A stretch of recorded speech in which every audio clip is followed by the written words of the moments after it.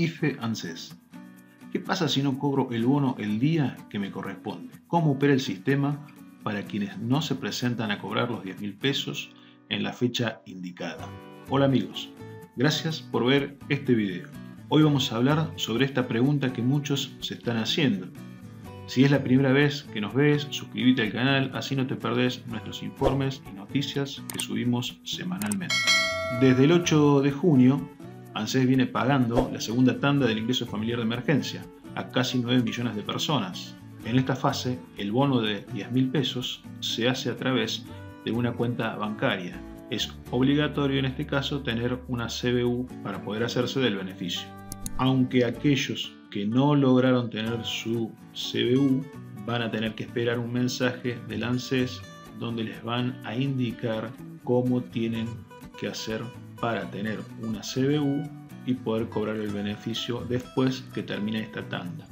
Como sabemos, ANSES estableció un cronograma que empezó con los titulares de asignación universal por hijo, AUH, y asignación por embarazo, y que esta semana incorporó a los beneficiarios en la primera tanda de cobro ya habían informado su número de CBU. En la primera fase, los beneficiarios que no tenían cuenta bancaria cobraban a través de correo argentino o puntos de retiro efectivo, como algunos cajeros de la Red Link y del Banco Provincia.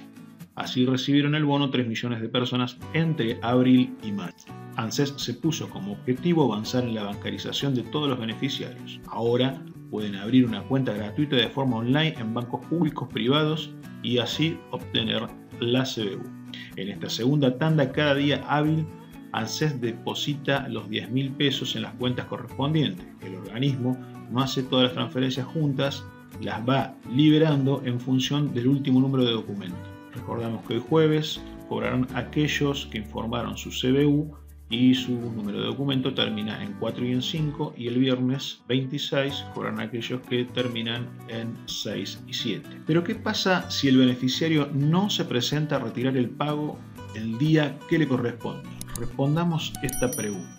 Así llevamos tranquilidad a todos.